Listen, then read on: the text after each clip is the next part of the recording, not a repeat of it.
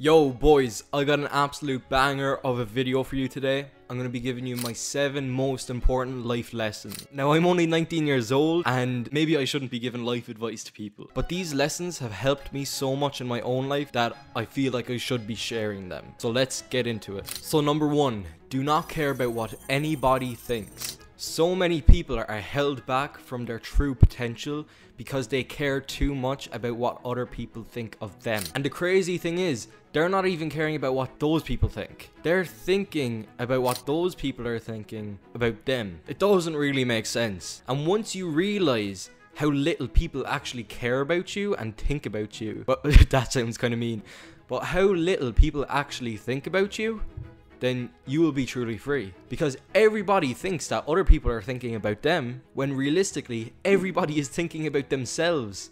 Everybody is worried about what everyone else thinks about them, so they don't have time to be thinking of you. You should never let somebody's thoughts hold you back from doing what you want and showing your true potential. I had a friend before and she told me that she would absolutely love to start building a makeup brand, start building a makeup line. And I asked her, I was like, why don't you start doing it? I was like, I can give you tips. So look at me creating these weird ass videos. And she said that she's afraid of what people will think. And from that, who knows? She could have lost millions upon millions of dollars because she cared about what people will think. Okay, so number two, focus on what you can control and forget about everything else. I used to spend my time trying to control everything. How people acted, how I acted, um, the outcomes of, of situations, trying to do my best to get everything so it's my way. And then when things didn't go my way, I would be upset and I wouldn't know what to do because I would be out of control. But once I realized that you cannot control what happens to you, but you can control how you react, you become a lot happier. So many people try to control everything, and when they can't control something and when it's not going their way, it gives them an immense amount of anxiety. And they're wondering what will happen.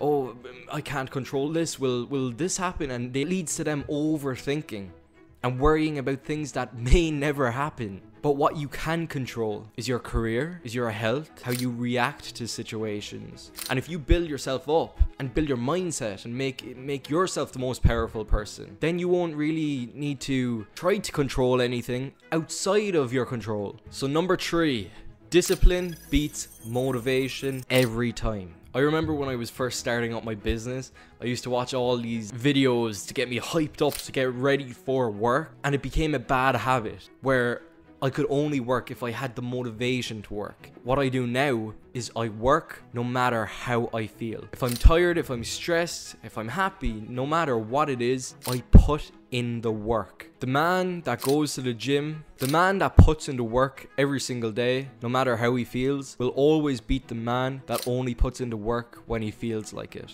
So learn how to build up that discipline how to do things when you don't feel like doing them, and stop relying so much on motivation. Number four, learn sales and marketing, and you will never be broke. Look, you can go out there and start up any business, but the backbone of that business would be sales and marketing. If you know how to sell anything and you know how to market anything, then it doesn't really matter what business you start up. Because you know how to market it, get it in front of eyeballs, and you know how to sell it. So whatever it is, Learn sales and marketing and you will be wealthy. Number five, get comfortable being alone.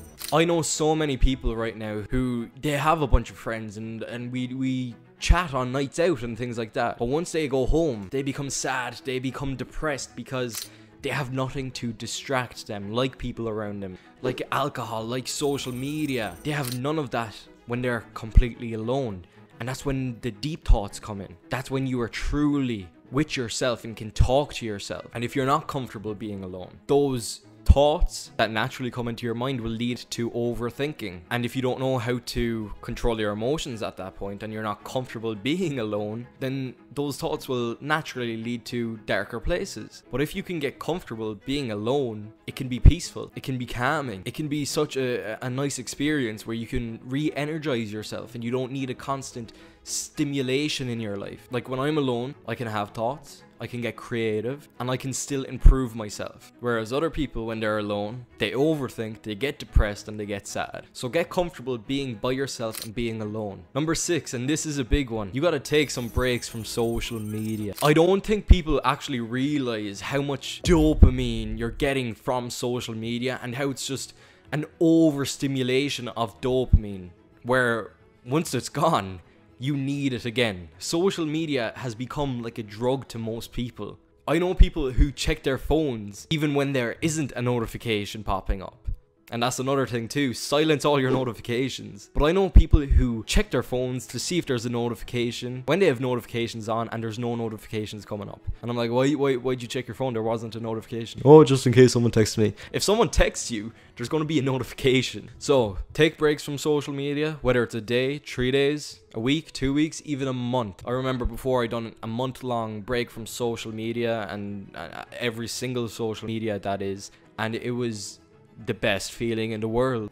Doing that dopamine detox, not only will it give you more time taking breaks from social media, but it leads to less stress in your life. And you will also see who your true friends are. Because if you're not texting them and nobody's texting you, there will be that one guy that's like, hey, what's up? You haven't been active recently. That's a, that's a true friend there. So take breaks from social media. Do a dopamine detox. Another video I gotta do soon. And number seven, our last life lesson of the day. Be better than you were yesterday. Or get 1% better every single day. Because if you were amazing yesterday and you were a hard worker, you went to the gym, you ate healthy, you got good sleep, and you're trying to be 1% better than that, then by the end of the year, you will be exponentially better. You will be a whole different person who's more productive, who's healthier, who's happier, who has a better mindset.